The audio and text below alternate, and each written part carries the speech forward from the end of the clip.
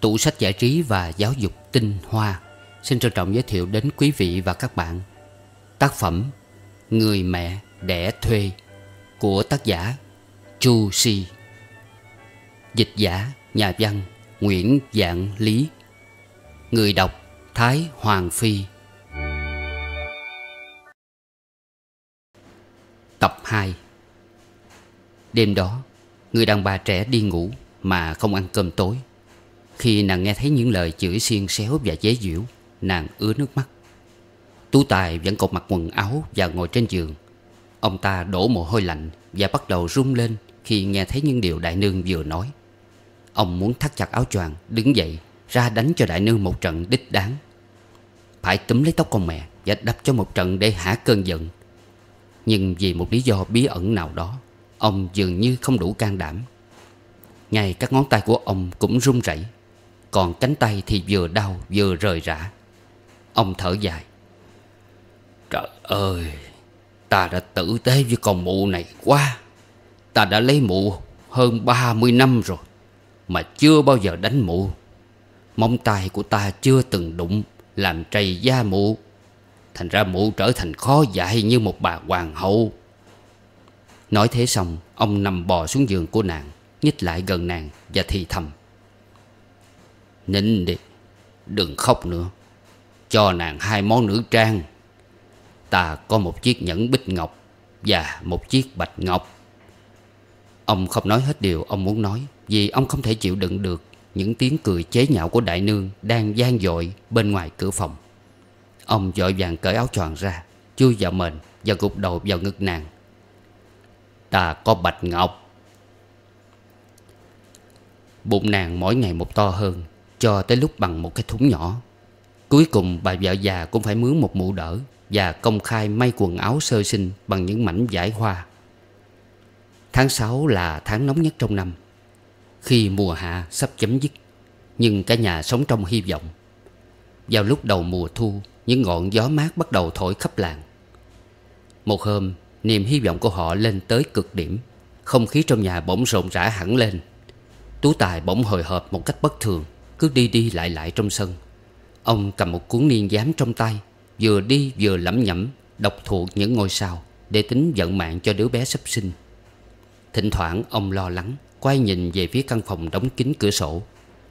Trong phòng ấy, Người mẹ đau đẻ đang khẽ rên rỉ. Rồi ông nhìn lên mặt trời, Bỗng nhiên bị một đám mây che khuất, Rồi đi về phía cửa Và hỏi bà Hoàng, Lúc đó đang đứng tại cửa. Này Nàng thế nào? Bà Hoàng khẽ ra dấu hiệu gật đầu, Rồi một lát sau nói thêm. Xin đến nơi rồi. Thế là ông cầm cuốn niên giám Và đi đi lại lại ngoài hành lang, Cứ thế cho tới sẩm tối. Khi khói bếp tỏa lên không trung Và trong nhà đã thắp đèn, Trông như những đóa hoa xuân bừng nở, Thì đứa bé chào đời. Đó là một đứa con trai. Đứa bé khóc gian trong nhà.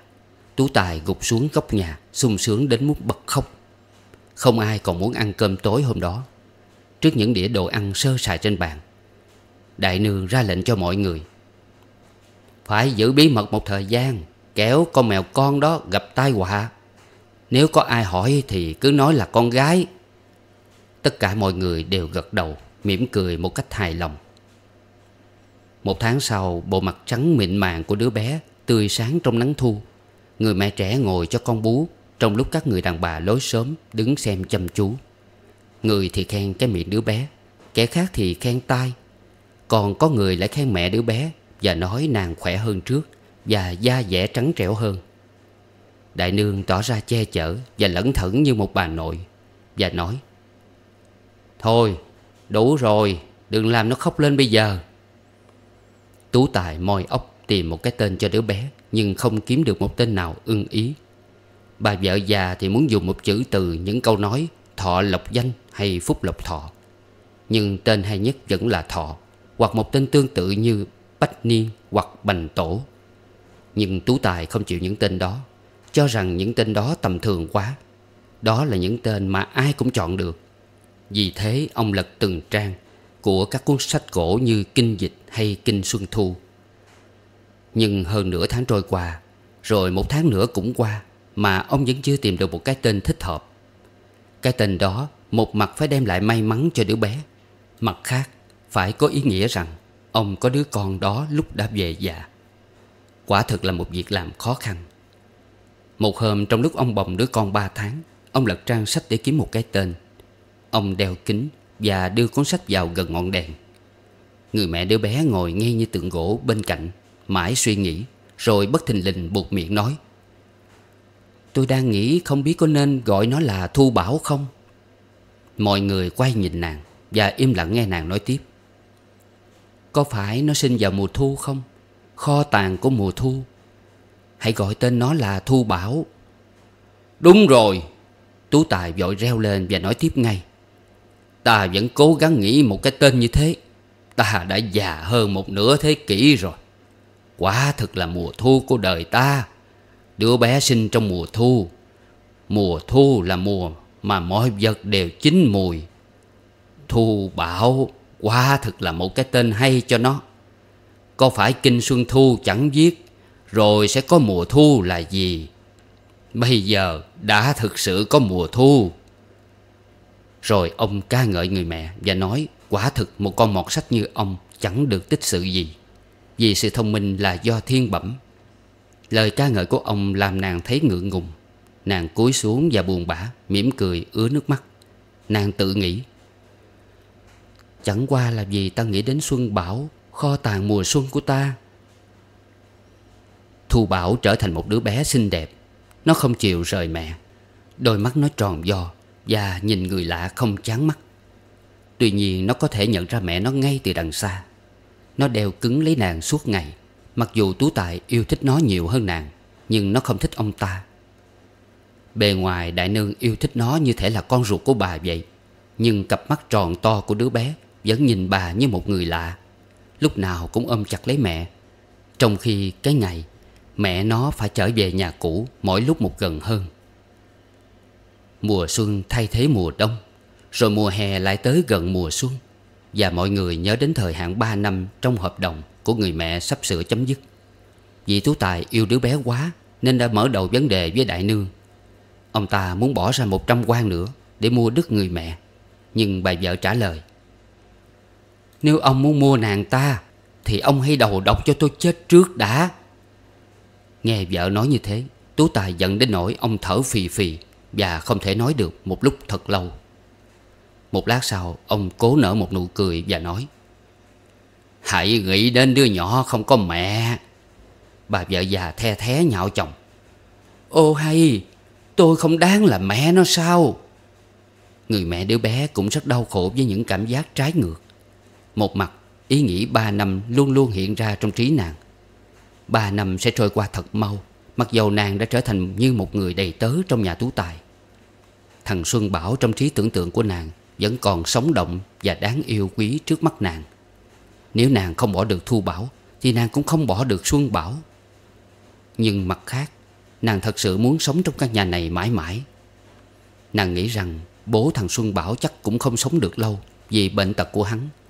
Hắn chỉ sống chừng 3 hoặc 5 năm nữa thôi. Lúc đó nàng có thể năn nỉ người chồng thứ hai Cho Xuân Bảo đến ở với nàng.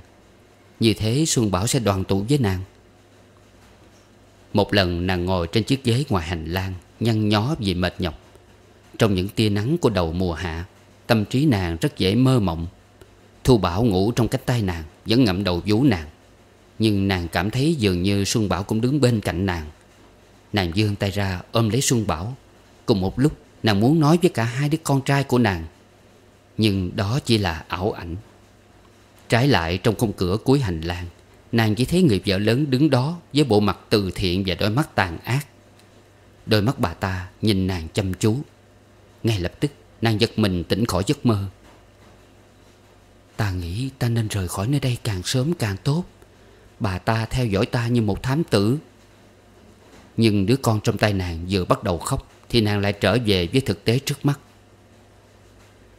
Một thời gian dài, Tú Tài thay đổi kế hoạch. Ông muốn gọi Trần Lão Bà tới Và sai bà ta đến nói chuyện với chồng của người đàn bà trẻ Và hỏi xem Hắn có đồng ý nhận thêm 30 quan nữa Hoặc tối đa là 50 quan nữa Để gia hạn hợp đồng thêm 3 năm. Ông ta lý luận với Đại Nương, Khi Thu Bảo được 5 tuổi Thì nó có thể xa mẹ được. Lúc đó đại nương đang lần chuỗi niệm kinh. Do đó giữa những tiếng A-di-đà Phật, Bà ta trả lời Đứa con đầu lòng của người ta vẫn còn ở nhà.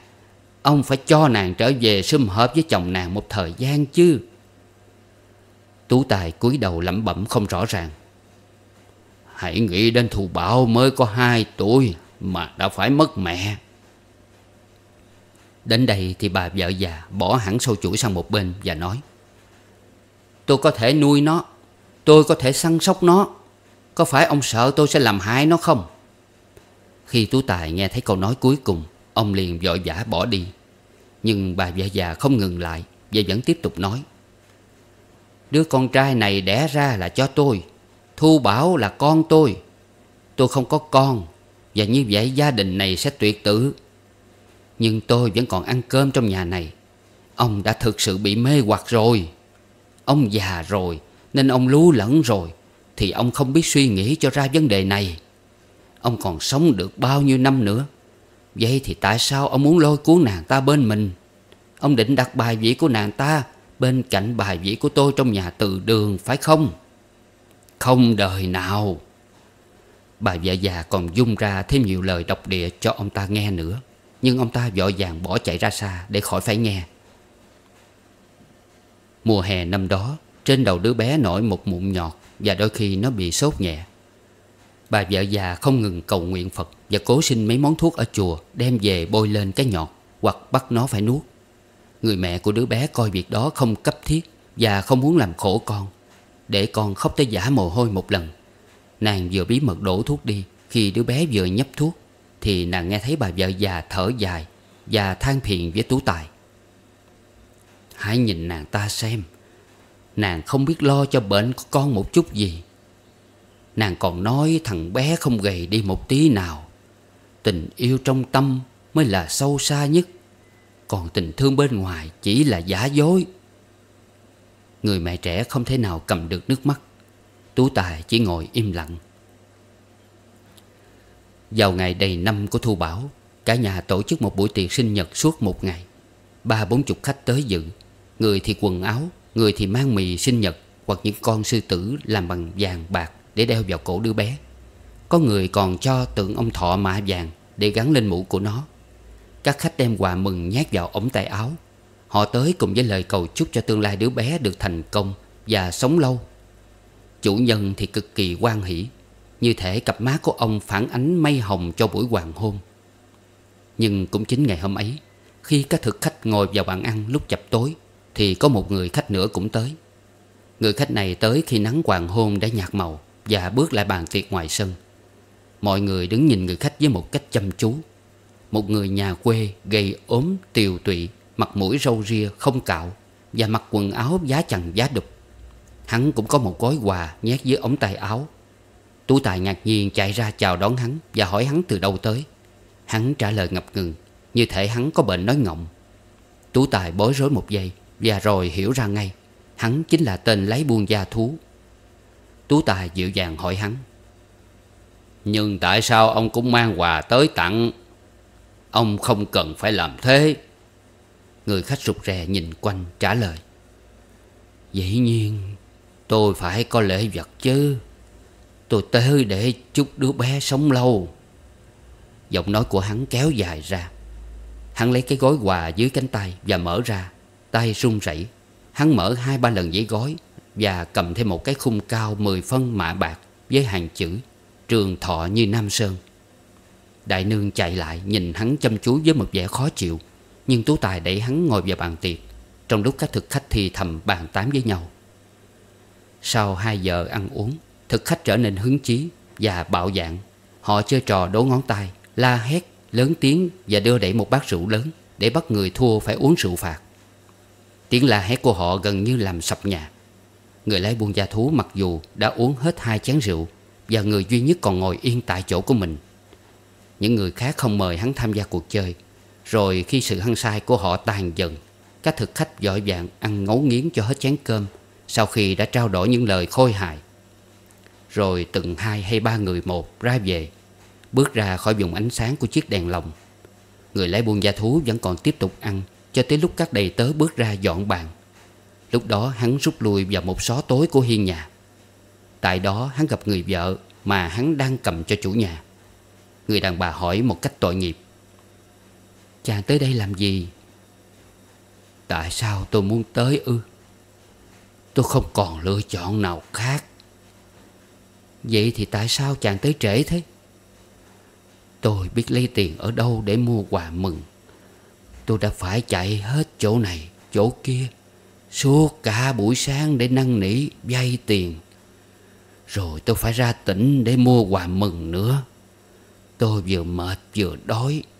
Vì thế tôi đến đây trễ.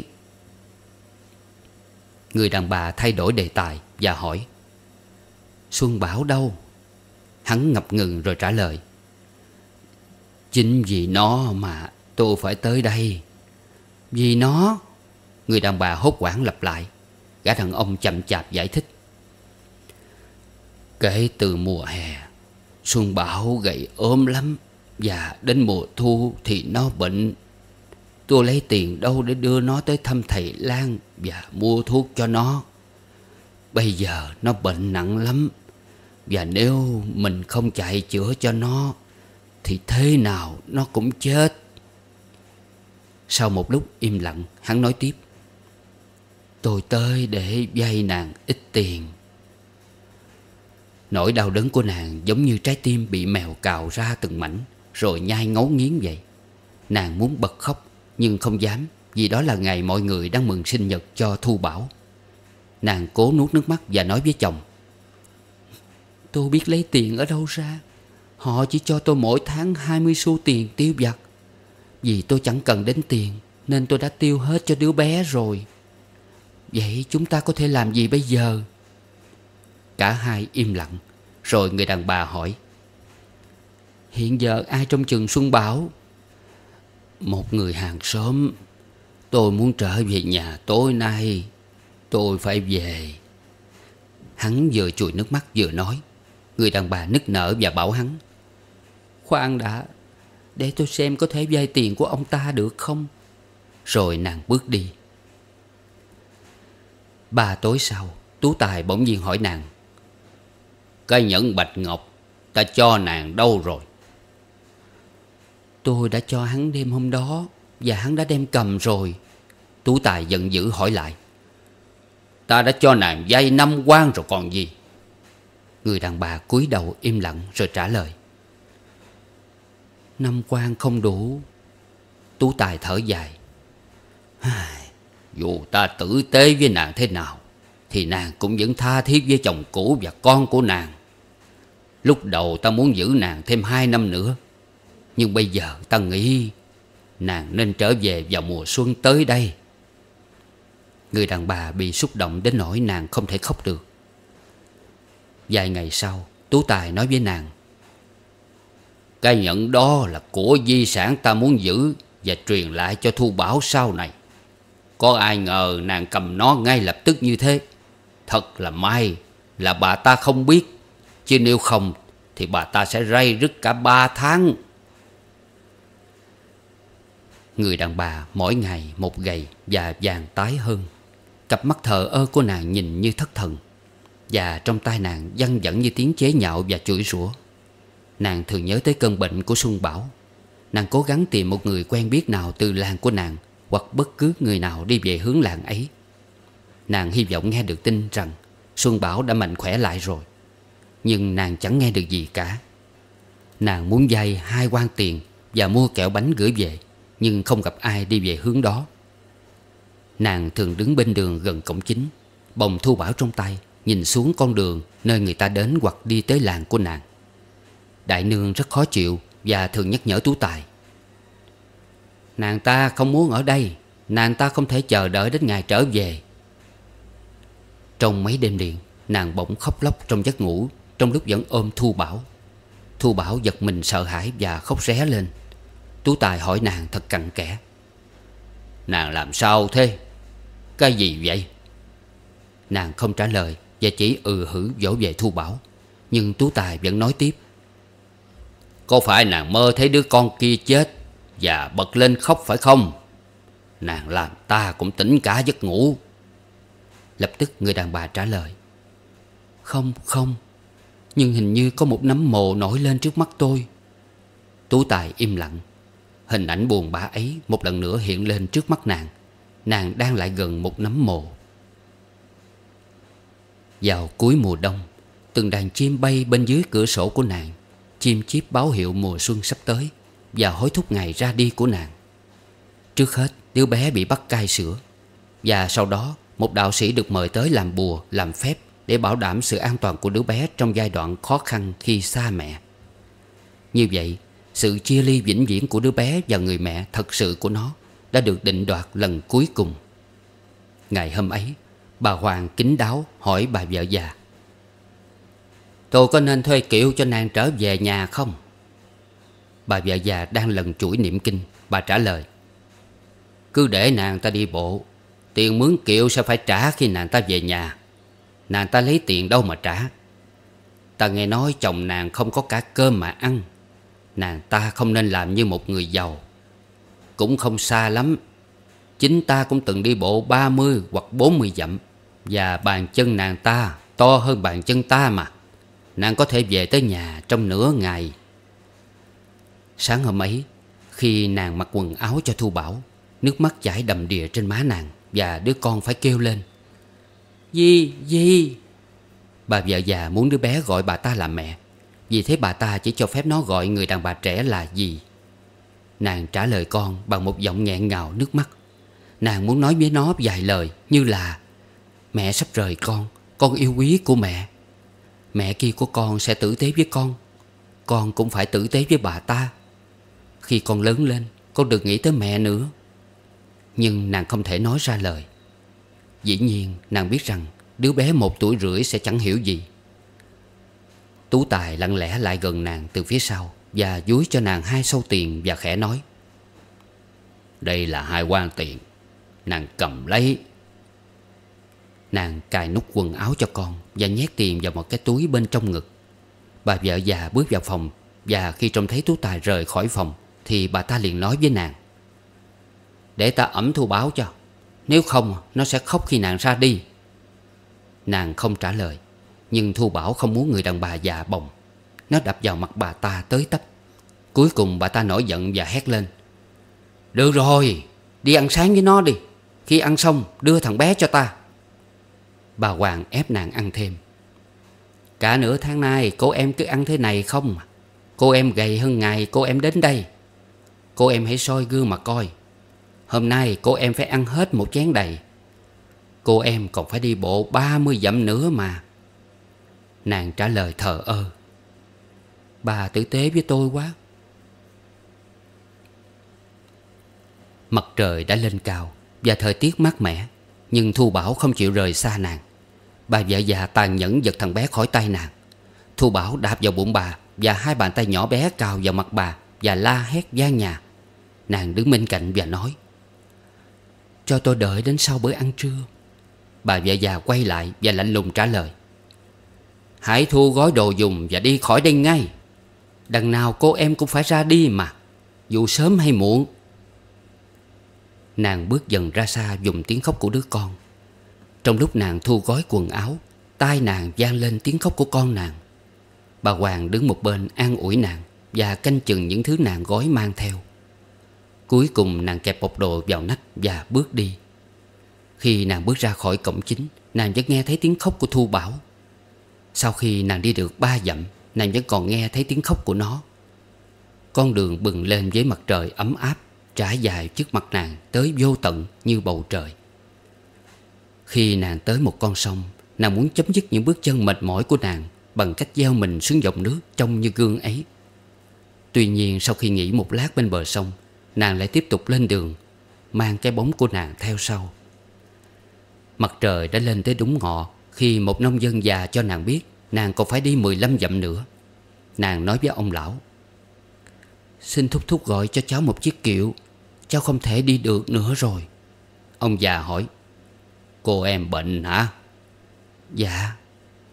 Nàng trả lời rồi ngồi nghỉ ngay tại cổng làng. Cô em từ đâu tới? Người đàn bà ngập ngừng rồi trả lời. Cháu định đi đến đó. Hồi sáng cháu tưởng cháu có thể đi bộ đến đó được. Tội nghiệp cho nàng. Ông lão không hỏi thêm nữa Và kiếm được hai người khiên kiệu cho nàng. Cái kiệu này không có mái che Vì là mùa cấy lúa mùa xuân.